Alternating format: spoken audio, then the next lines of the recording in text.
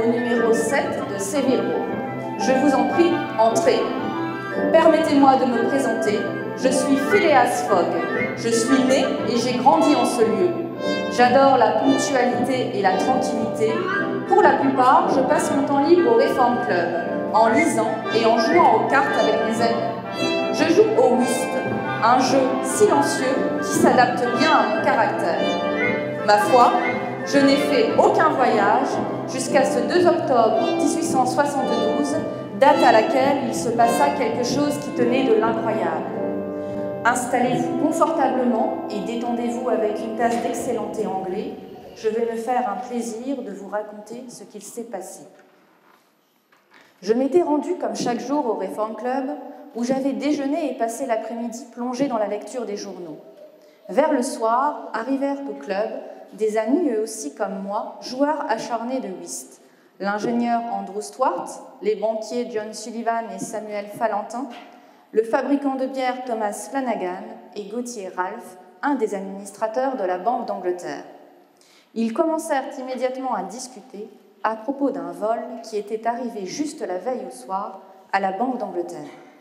Il paraît que le voleur n'est pas un voyou, mais au contraire un gentleman bien habillé, de bonne manière, dit Ralph, qui a réussi à escamoter une liasse de billets de banque à la table du caissier pendant que celui-ci était occupé. Pensez un peu, 55 000 livres, une somme énorme. Je ne crois pas qu'on le retrouvera, ajouta Stuart. C'est un homme très habile et la terre est si grande.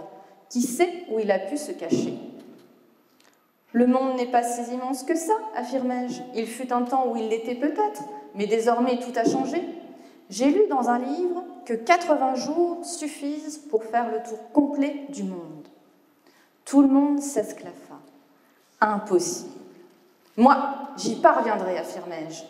Je parie 20 000 livres que j'y parviendrai. Mais à présent, messieurs, allez, terminons notre partie. Le train pour Douvres part ce soir à 8h45 et c'est bien celui que je prendrai. Personne n'eut le courage de renoncer à ce défi. Tous prirent part Paris. Le tour du monde en 80 jours n'était-ce pas une chose inouïe?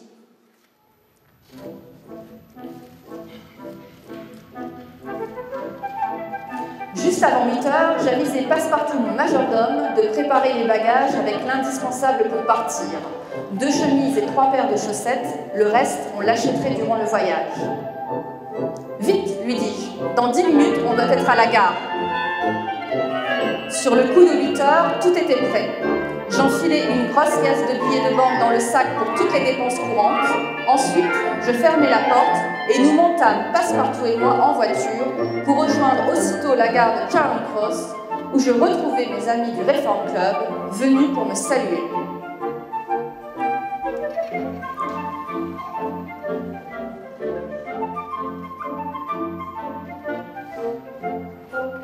Messieurs, je pars avec mon majordome, dis-je. À mon retour, vous pourrez contrôler l'itinéraire grâce aux visas qui auront été apposés sur mon passeport. À 8h45 précise, le train démarra.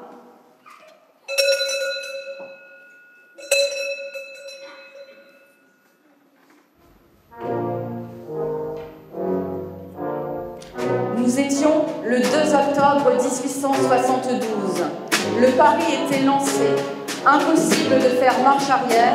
Passepartout et moi avions 80 jours pour faire le tour du monde. Arrivé à Brindisi, on prit le paquebot Mongolia qui mettait le cap sur Suez en Égypte où il arriva le 9 octobre, soit 7 jours après notre départ.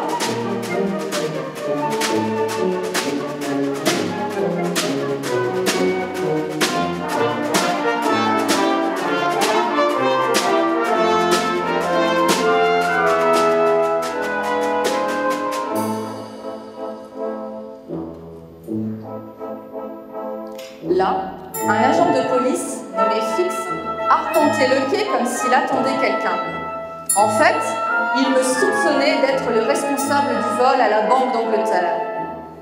Mais comment cela était-il possible?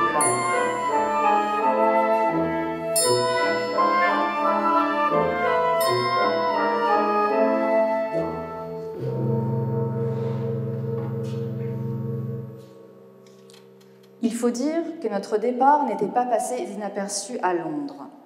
La nouvelle du Paris s'était rapidement répandue auprès des journaux et de la population du Royaume-Uni tout entier.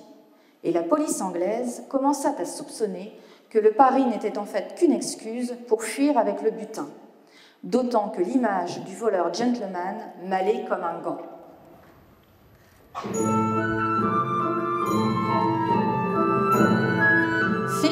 suivit Passepartout, qui débarqua pour faire quelques achats.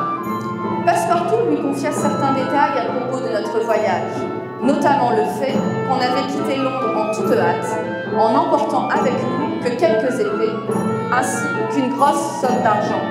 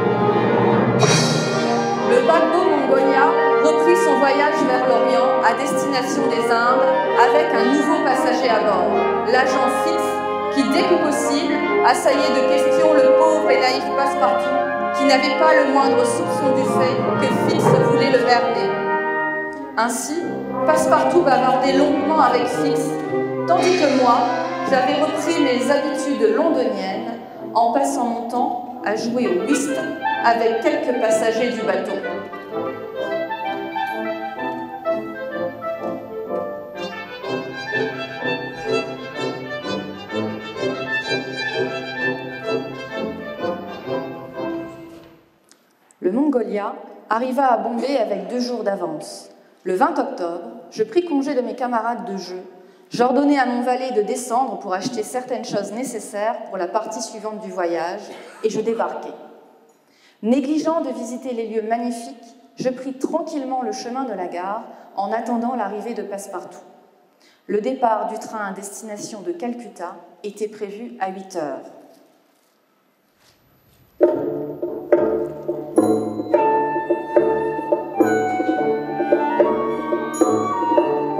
Soudain, je vis Passepartout courir vers moi.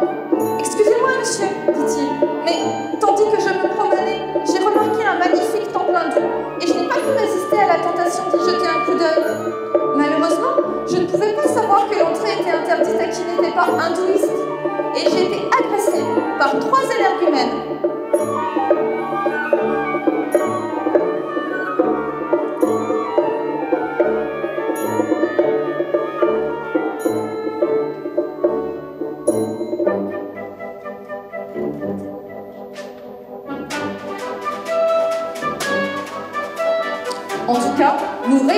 à la dernière minute à monter dans le train pour Calcutta, sans vous apercevoir que l'agent fixe aussi venait de monter quelques wagons avant le nôtre. Le 22 octobre, à 8 h du matin, le train s'arrêta brusquement dans un petit village, à cause d'un imprévu. Il n'y avait plus de rails. Cela ne m'inquiéta pas beaucoup, et je m'éloignai pour chercher une solution alternative. Après quelques minutes, je revenais avec un nouveau moyen de transport, un éléphant.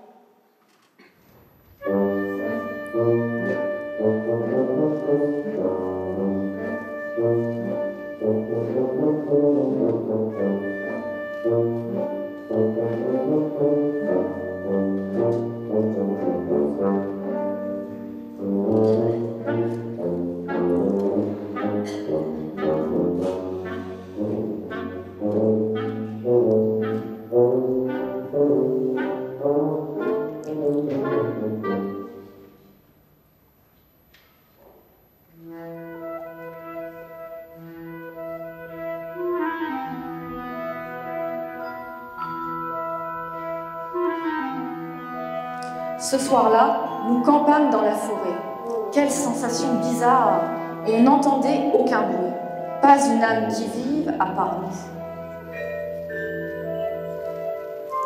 Soudain, comme par enchantement, voilà que surgirent de nulle part des types bizarres, habillés avec des costumes de cérémonie.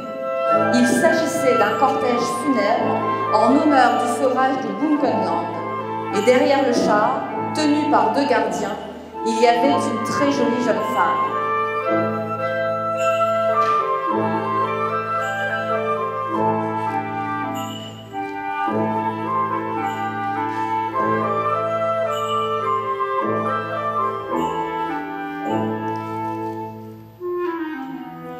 Plus tard, j'appris qu'elle s'appelait Adoua et qu'elle avait épousé contre sa volonté le vieux prince.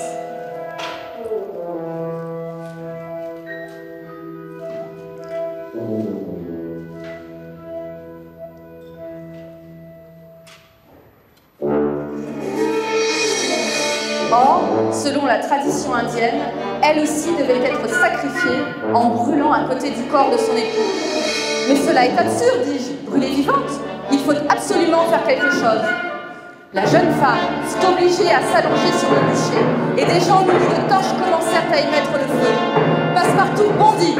J'y vais, dit-il, j'ai une idée.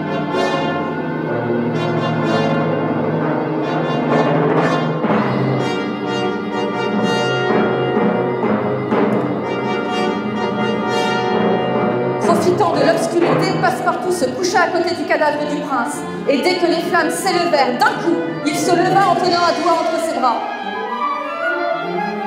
Soudain, un cri de terreur s'éleva dans la foule. Le mort s'est levé hurlèrent-ils en prenant Passepartout pour le fantôme du prince défunt. Vous imaginez quel fut le tohu et nous, cela nous a permis de sauver et de rejoindre l'éléphant pour fuir.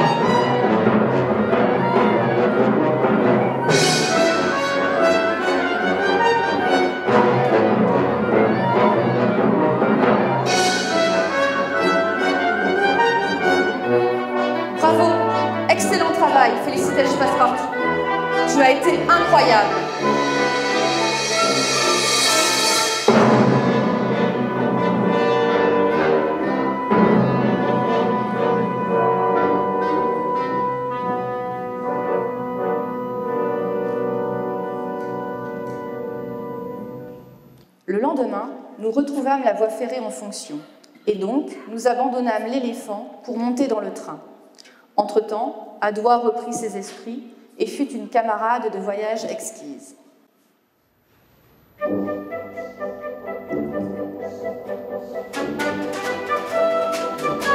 Si vous voulez, lui dis-je, vous pouvez vous joindre à nous pour Hong Kong. Je ne vous laisserai pas toute seule aussi aux Indes. Cela serait trop dangereux pour vous. Je suis très reconnaissante, monsieur, répondit Adoua. À Hong j'ai un oncle qui sera heureux de m'accueillir.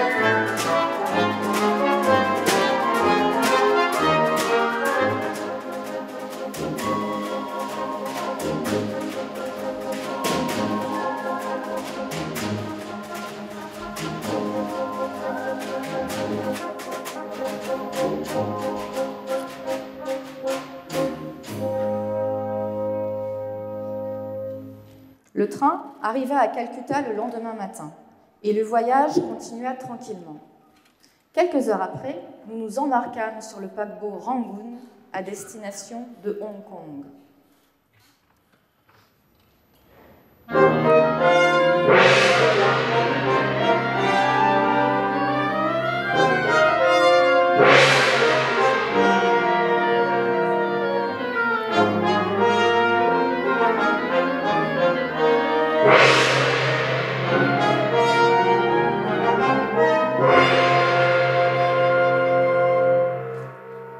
Débarqués, nous nous rendîmes à l'hôtel. Ensuite, pendant que j'accompagnais Adoua visiter la ville, Passepartout s'y rendit également pour faire quelques courses. Adoua et moi partîmes à la recherche de son oncle, mais on nous informa qu'il vivait désormais en Hollande. Que vais-je faire à présent? demanda Adoua avec tristesse. C'est simple, répondis-je. Vous viendrez avec nous. Passepartout m'a réservé non pas deux, mais trois cabines sur le Carnatic. Adoua ne me répondit pas, mais le sourire qu'elle me fit alors parlait pour elle. Passepartout alla au quai du Carnatic, réserva les trois places et découvrit que le départ aurait lieu non pas le lendemain matin comme prévu, mais le soir même.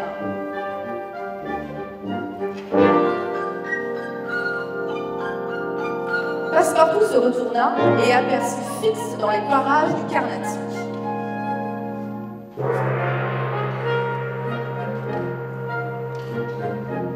Celui-ci l'invita à le suivre dans une auberge et lui dit Je vais vous confier un secret, Passepartout. Phileas Fogg est le voleur qui a cambriolé la banque d'Angleterre et je suis là pour l'arrêter.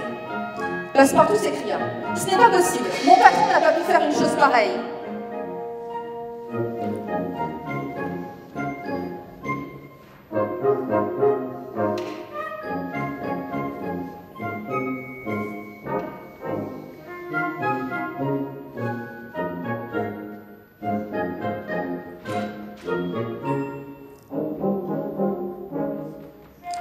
Le regard de Fix était menaçant.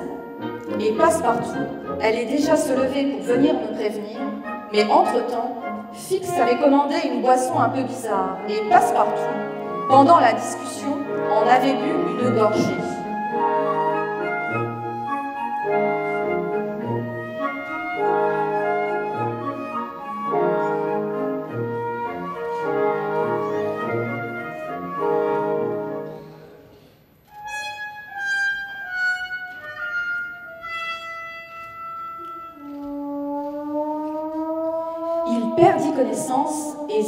S'écroula sur le sol.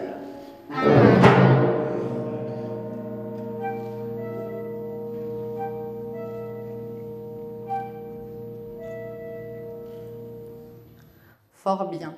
Et maintenant, voyons comment tu préviendras ton patron que le départ du Carnatic a été avancé, ricana Fix. Il faisait déjà noir lorsque le pauvre Passepartout retrouva ses esprits. Il courut à perdre haleine au port, juste à temps pour bondir sur le Carnatic, où il se rendit compte qu'Adoua et moi n'y étions pas, vu que personne ne nous avait informés du départ anticipé.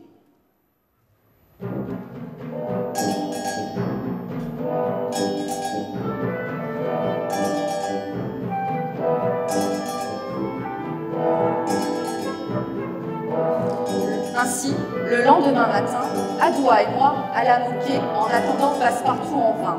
Là, on nous dit que le Carnatic avait quitté le port la veille. Un marin s'approcha de nous. Vous avez besoin d'un bateau, monsieur demanda-t-il. Oui. Pensez-vous que nous puissions être à Yokohama le 14 novembre pour embarquer sur le paquebot pour San Francisco demandai-je. Bien, vous pouvez vous embarquer sur le général Grant, qui part de Shanghai, répliqua le marin. Je vous emmènerai jusqu'à Shanghai avec ma goélette. Soudain, nous entendîmes une voix. C'était ce bon vieux fixe. Permettez-moi de monter avec vous. J'ai su que vous alliez à Shanghai pour vous embarquer sur le général Grant. Mais je vous en prie, lui dis-je.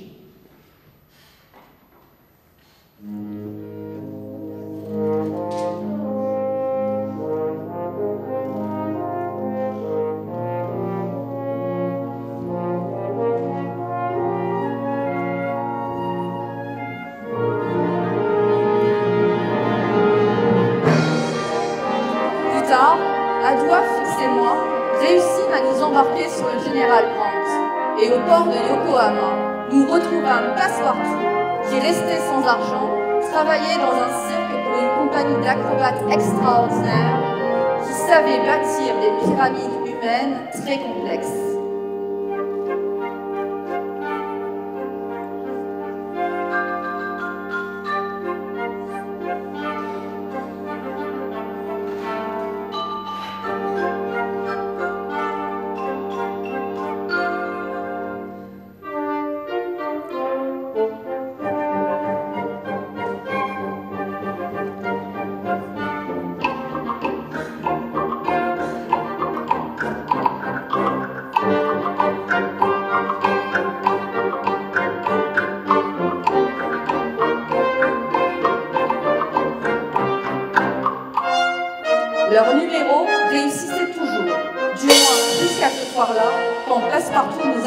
La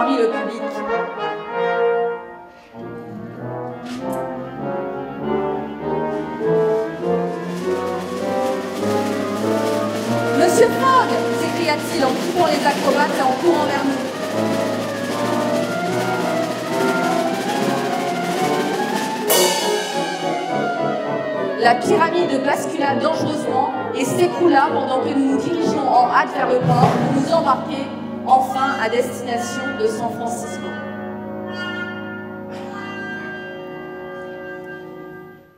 Entre-temps, Fix avait reçu le mandat pour m'arrêter.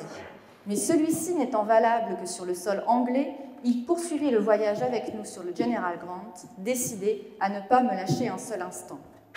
Le 3 décembre, nous débarquions à San Francisco.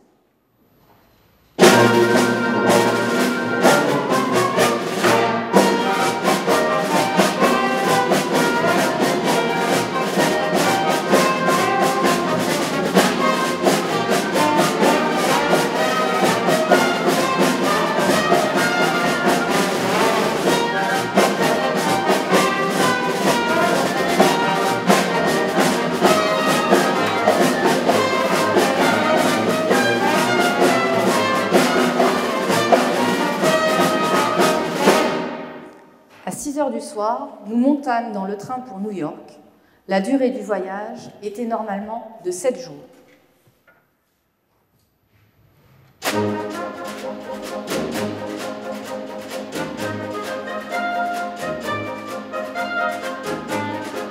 À bord, Fix et moi occupions notre temps en jouant au whist. Passepartout dormait tout le temps et à toi, admirer les paysages enneigés.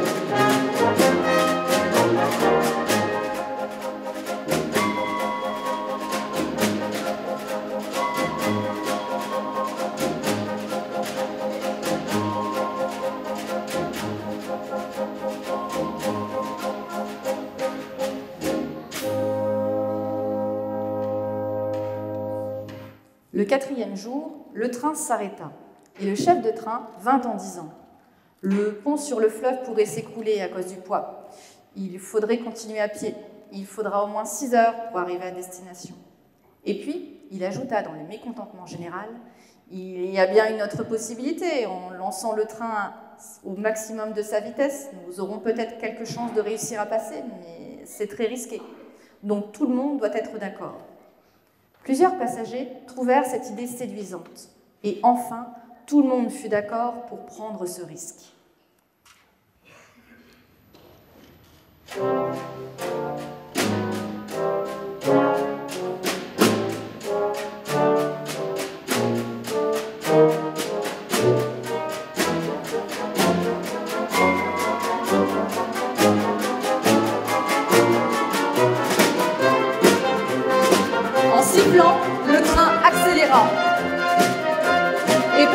À toute vitesse sur le pont.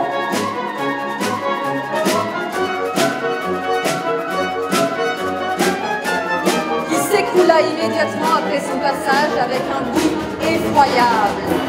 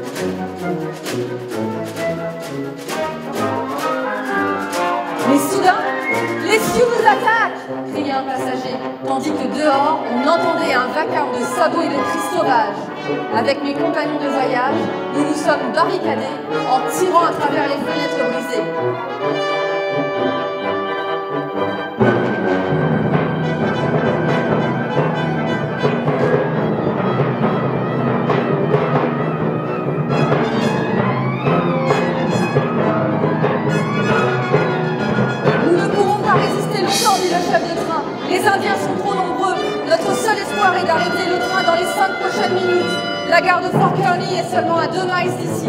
Les soldats pourront venir à notre secours. J'y vais s'exclama Passepartout en sortant du compartiment à toute vitesse. Après être passé sous les wagons, il gagna avec une agilité surprenante la tête du train où il décrocha les chaînes de sûreté qui reliaient la locomotive à la rame. Ralentit finalement s'arrêta à quelques pas de la gare de Fort Kearney.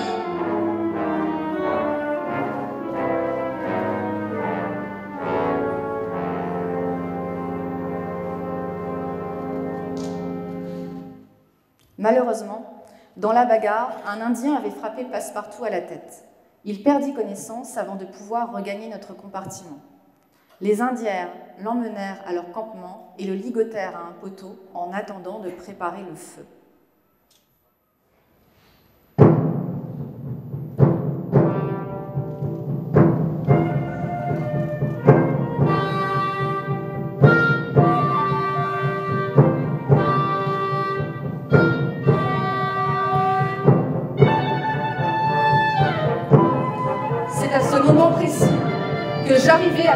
Une escouade de soldats.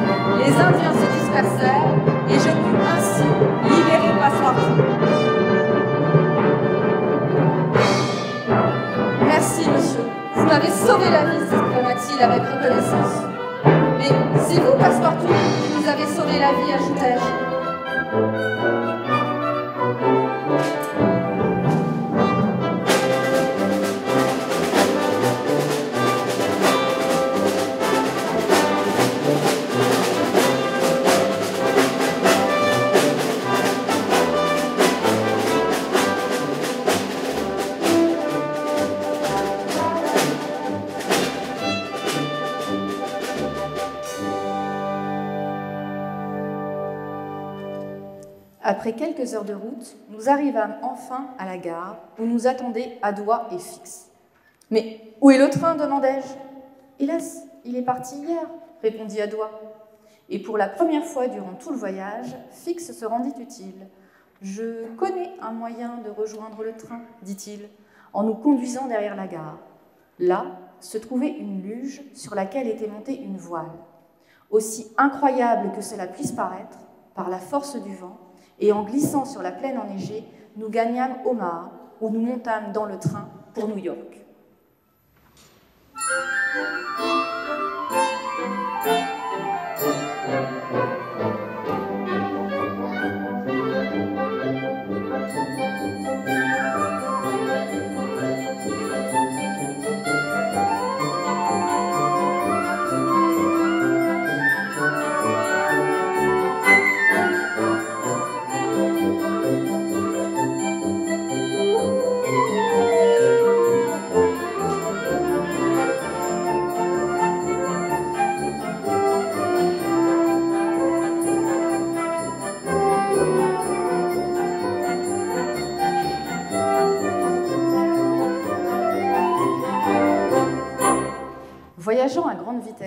Nous arrivâmes à New York le 11 décembre à 11h15 du soir, juste devant le quai d'embarquement pour l'Angleterre. Hélas, le paquebot China avait quitté le port depuis 45 minutes. Ce n'était pas possible. Il ne nous restait que neuf jours. Il fallait trouver aussitôt que possible une solution pour nous ramener à la maison. Soudain, j'aperçus un navire marchand à coque de fer dont tout l'intérieur était en bois.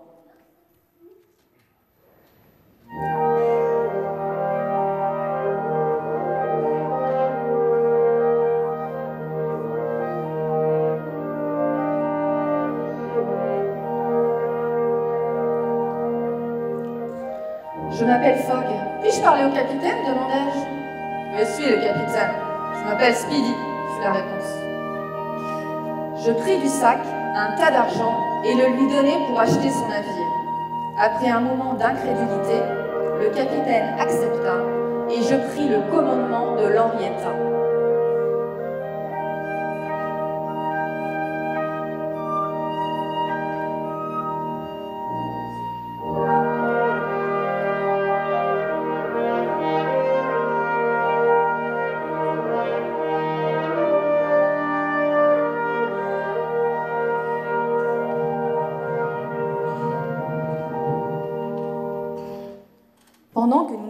À toute vitesse, rêvant déjà l'arrivée à Liverpool, un marin me rejoignit.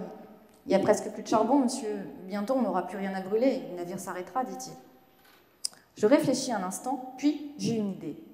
Démolissez toutes les parties en bois du navire et utilisez-les pour alimenter le feu. Et cela fonctionna.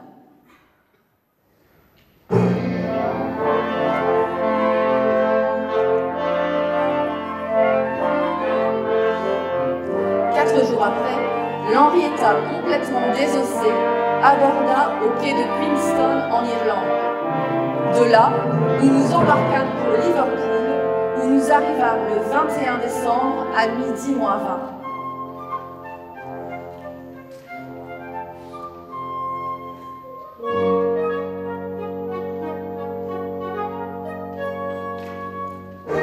Et c'est à ce moment très précis que Fix s'exclama Monsieur Fogg, au nom de la reine, je vous déclare en état d'arrestation pour le cambriolage de la Banque d'Angleterre. Adoua et Passepartout regardaient la scène avec horreur. Fix me mit les menottes et me conduisit à la prison de Liverpool.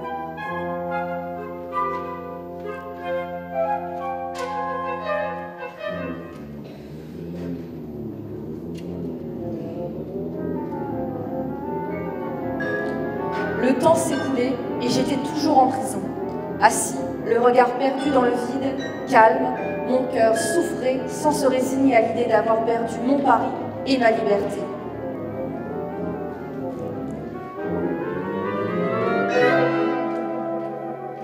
Soudain, la porte s'ouvrit pour laisser passer Fix. Monsieur, bégaya-t-il, je vous demande pardon, mais la ressemblance. Je ne sais pas comment vous le dire, enfin, le cambrioleur a été arrêté à Édimbourg il y a trois jours. Vous êtes libre, monsieur. Je me levai calmement en regardant fixe dans les yeux. Et puis, je lui décrochai un coup de poing en pleine figure. Bien joué s'exclama Passepartout. Nous sortîmes de prison et montâmes dans une voiture qui nous conduisit à la gare, d'où partait le train pour Londres.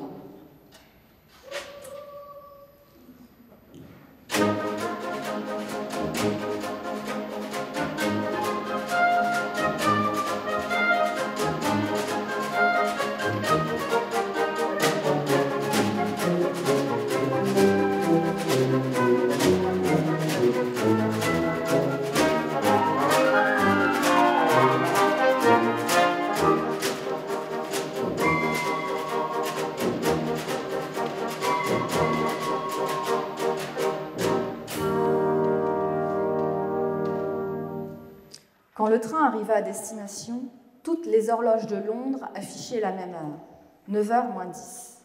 9h moins 10. J'avais achevé le tour du monde et j'étais arrivée avec 5 minutes de retard. J'avais perdu mon pari.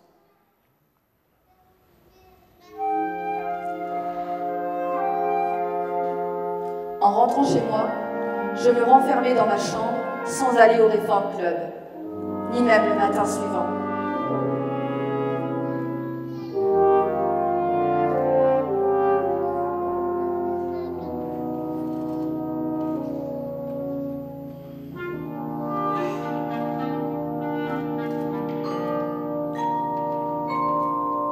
Vers 7 heures du soir, je rejoignis Adoua dans la salle à manger.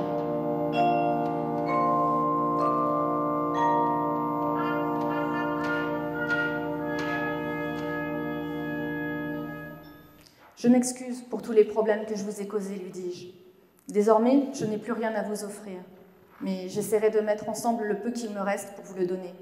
Mais que dites-vous? répliqua Adoua. Vous m'avez sauvé la vie? Je ne peux pas vous abandonner, surtout à présent. Je veux rester avec vous, Phileas, et cela plus que jamais. Voulez-vous m'épouser?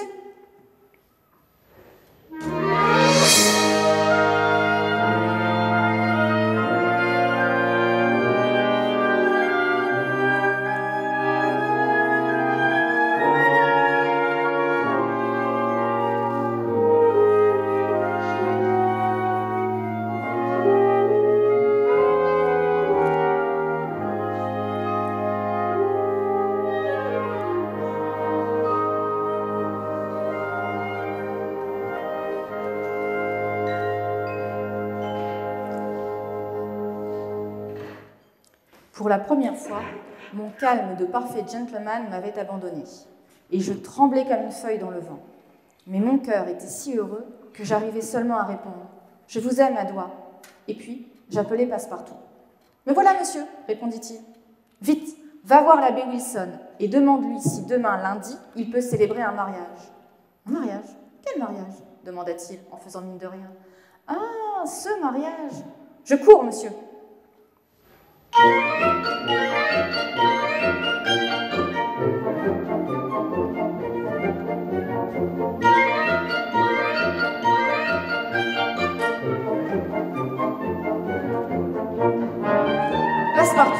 sortit de la maison à 20h05 et à peine une demi-heure après, il débarqua à bout de souffle dans la salle à manger.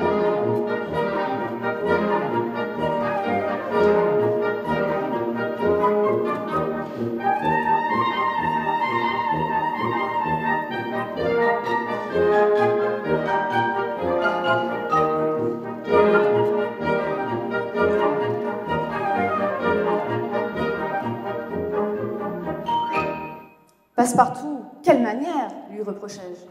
Pardonnez-moi, monsieur, mais demain, demain, on est dimanche, bégaya-t-il.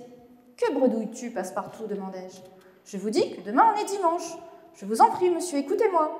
Alors voilà, quand je suis allée chez l'abbé Wilson, je lui ai demandé de réserver l'église pour demain, lundi 23 décembre, votre mariage. Et il m'a répondu qu'il aurait été très heureux de célébrer les noces, mais pas demain, plutôt après-demain. Vous comprenez, monsieur? Je vous dis qu'aujourd'hui, on est samedi, nous avons gagné un jour à cause du fait qu'on a fait le tour du monde en voyageant vers l'Est, vers le soleil, répliqua Passepartout. Mais alors? Mais bien sûr, Comment n'y ai-je pas pensé tout de suite? Quel oubli impardonnable Vite, il ne nous reste que quelques minutes. Nous bondîmes dans une voiture pour filer à toute vitesse vers le Reform Club.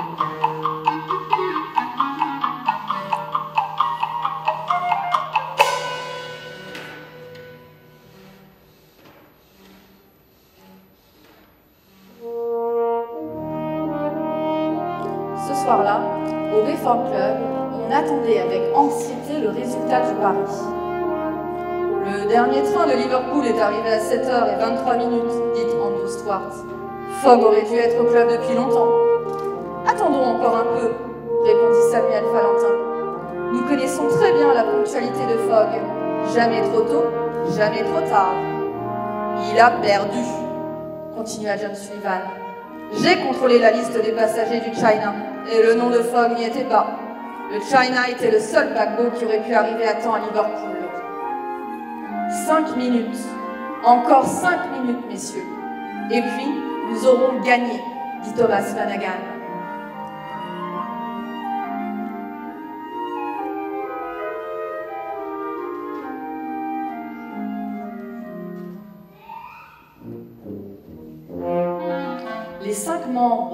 Club posèrent les cartes sur la table. 8h45. La pendule du salon allait presque sonner les trois quarts quand la porte s'ouvrit toute grande. Me voilà, messieurs, dis-je en avançant dans le salon. Mes amis étaient pétrifiés. Ils me fixèrent bouche bée pendant que quelques instants avant de réussir à me féliciter pour mon succès. J'avais gagné.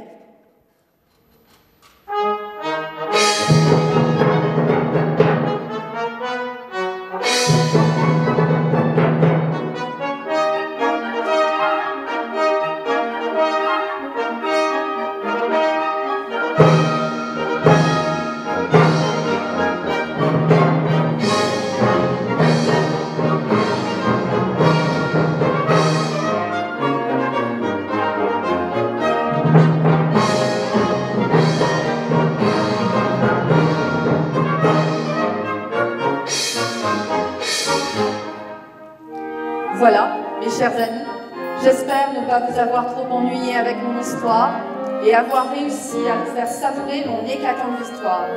Le prix ne fut pas seulement le fait de me retrouver soudain riche et célèbre, mais aussi d'avoir reçu deux cadeaux merveilleux, l'amitié sincère de Passepartout et l'amour de la belle Adoua.